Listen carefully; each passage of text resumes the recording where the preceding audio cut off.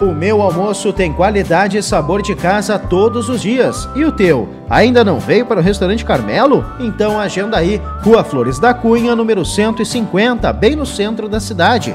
E se quiser, peça sua vianda por telefone 99799 8770.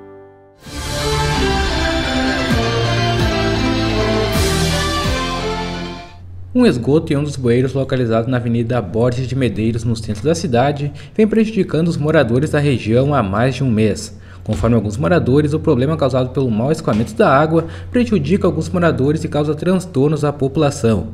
Até o fechamento desta edição, nossa redação não conseguiu contato com a Secretaria de Obras.